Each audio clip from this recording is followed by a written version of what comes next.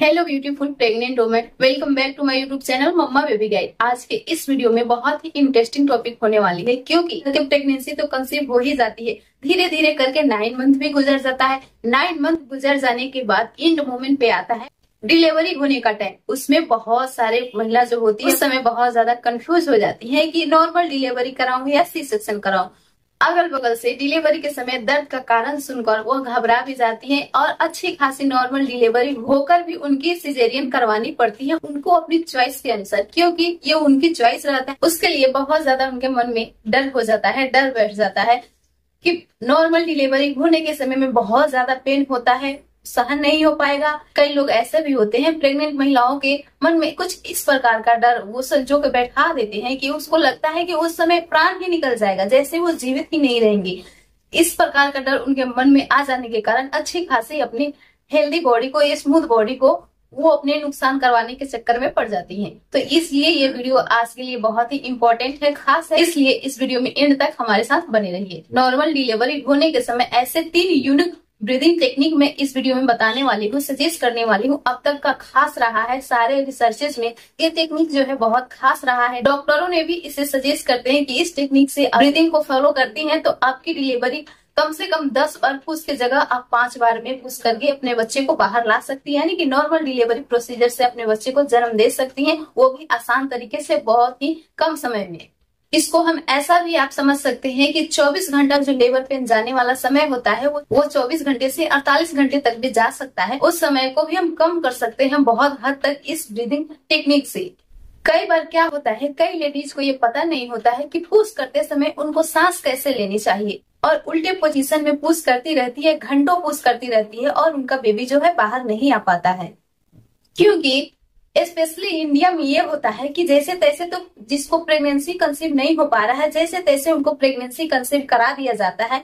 लेकिन ये गाइड नहीं किया जाता है कि एंड मोमेंट पर, यानी कि डिलीवरी के समय, उनको लेबर पेन के समय कैसे पुश करना चाहिए, कैसे उनको ब्रीदिंग करनी चाहिए, कैसे सांस लेनी चाहिए और कैसे उनको पुश करनी चाहिए ताकि बच्चा जल्दी से बाहर आ सके। बट आपको ये बात भी जानना ज़रूरी है क्योंकि आप गवर्नमेंट हॉस्पिटल में अपना डिलीवरी करवाना चाहती हैं तो उस समय तो डॉक्टर आपको कोई भी सजेस्ट नहीं कर पाती हैं, जब तक कि आपका लेबर पेन बहुत ज़्यादा हाई लेवल पे ना हो जाए। जब तक कि हाई लेवल पे ना हो जाए, डॉक्टर आपको कोई सजेशन नहीं देती है कि आपको कुछ कैसे करना है, आपका बच्चा बाहर जल्दी कैसे आ सकता है, आपको दर्द होने पे क्या करना चाहिए, इन सब इन सब चीज़ों पे गवर्नमेंट हॉस्पिटल में ध्यान नहीं रखा जाता है और नहीं दिया जाता है। जब तक कि आपकी लेबर पेन जो है, लेबर पेन की ड्यूरेशन जो है बहुत तेज नहीं हो जाए, उस समय एक दो दो तीन टेक्निक बताते हैं, उस समय उस समय वो कॉन्फिडेंस नहीं आता है और वैसे इस तरीके से हम नहीं कर पाते हैं। एंड मोमेंट में जाके हमको कट लगवाना पड़ सकता है या एंड मोमेंट में भी हमको सिजेरियन करवाना भी पड़ सकता है। और उस समय हमें भी पता होता है डॉक्टर को भी पता होता है कि बहुत ज़्यादा लेबर पेन की ड्यूरेशन बढ़ जाने के कारण हमारी बॉडी हमारी क्षमता नहीं रहती है कि हम उसे कैसे रिएक्ट करवा पाए। और उस समय दो तीन उस समय दो तीन ही डॉक्टर बताते हैं और आपको सजेस्ट करते हैं कि ऐसे करना चाहिए। और उस समय हम कर नहीं पाते हैं, बाद में हमको खतरा झेलना पड़ जाता है।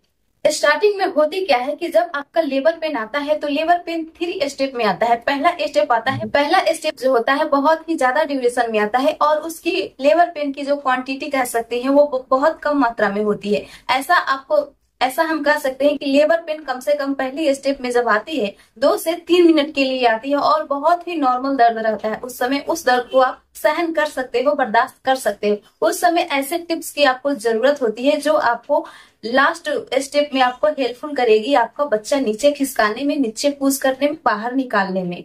फ़र्स्ट स्टेप में क्या होता है, आपके गर्भाशय का मुँह ओपन होता है एक सेंटीमीटर या डेढ़ सेंटीमीटर। ऐसा या दो सेंटीमीटर हम कह सकते हैं। उस समय आपको हल्की हल्की डिस्चार्ज हमेशा होती रहेगी, यानी कि उस समय चिपचिपा पदार्थ निकलती रहेगी म्यूकस प्लग निकलती रहेगी हल्की हल्की पानी भी रिश्ती रहेगी आपके प्राइवेट पार्ट से। वो होता है फ़र्स्ट स्टेज आपका लेबर पेन का। दूसरे स्टेज में क्या होता है गर्भाशय का यानी यूट्रस का मुँह कम से कम तीन से चार सेंटीमीटर खुल जाता है। उसमें क्या होता है? बहुत ज़्यादा डिस्चार्ज होने लग जाता है। उस उस समय डॉक्टर आपको पाँच पाँच मिनट दस दस मिनट पे आपको एग्जामिनेशन करती है चेक करती है कि आपका कितना मुँह खुला है, आपकी यूट्रस का मुँह कितना खुला है, कितनी देर और लगेगी आपकी डिलीवरी होने में, यानी कि बच्चा बाहर आने में। उस समय ये टेक्निक आपको फॉलो करनी है। तीसरी स्टेज क्या होता है कि जिस समय आपका बेबी का मुँह पूरे टेन सेंटीमीटर तक ओपन हो जाता है। उस समय आपकी बेबी की नॉर्मल डिलीवरी हो पाती है। आपको दो से तुर, दो से तीन पुश में ही आपकी नॉर्मल डिलीवरी सक्सेस हो जाती है इजिली आसान तरीके से। तो मैं अब आपको बताती हूँ कि पुश कब करना है। फ़र्स्ट स्टेप में या सेकेंड स्टेप में या थर्ड स्टेप में। जैसे कि आपको पहले पता है कि फ़र्स्ट स्टेप में क्या होता है? हल्की हल्की लेबर पेन स्टार्ट होती है। यानी कि दो से तीन मिनट तक ये पेन आपके बॉडी में रहती है, कमर में, पेट में, आपके प्राइवेट पार्ट्स में। पेन उस समय लेबर पेन रहती है। तो दो से तीन मिनट आपको ज़्यादा समय मिलता है। उस समय आपको पुश करना है। उस समय फ़र्स्ट स्टेज में ही आपको पुश करना है। पुश कैसे करना है आपको? नाक से सांस लेना है और मुँह से छोड़ना है। कुछ इस तरीके से।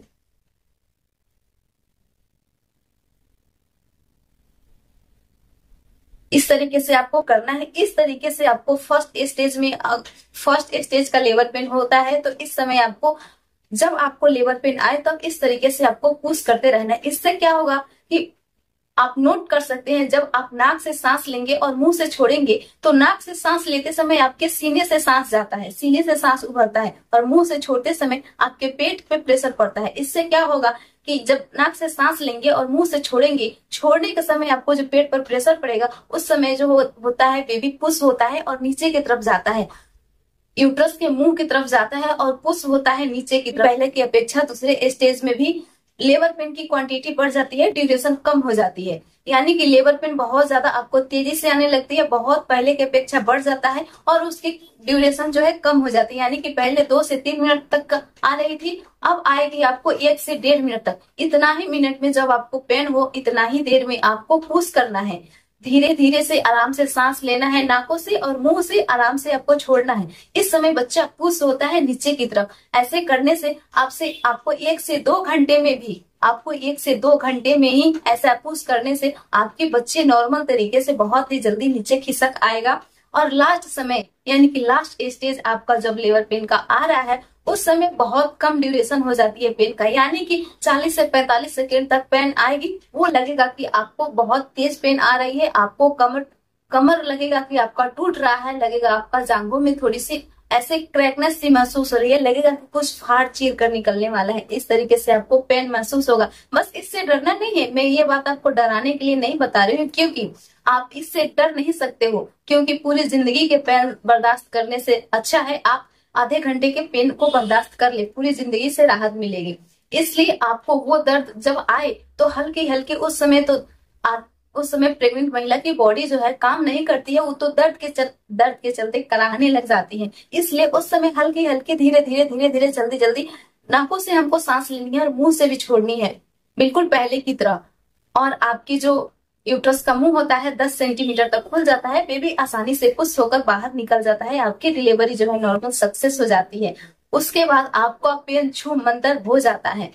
साथ ही साथ बेबी के साथ ही साथ प्लेसेंटा भी बाहर निकल आता है। उसके साथ आपको दर्द कब उसके बाद आपको पता भी नहीं चलेगा कि दर्द कब आ रहा था और किस तरीके से आ रहा था। आसानी से आपका बेबी प्यारा सा आपकी गोद में होगा। आप और आप उसे ढेर सारा खुशियाँ और प्यार दे सकते हो अपने मजबूती बॉडी के साथ। आई होप ये वीडियो आप सबके लिए हेल्पफुल रही होगी। कुछ ना कुछ नॉलेज मिला होगा, आपको हिम्मत मिली होगी। तो चैनल को ज़रूर सब्सक्राइब कीजिएगा। फिर से मिलती हूँ एक अगले इंटरेस्टिंग वीडियो के साथ। Bye bye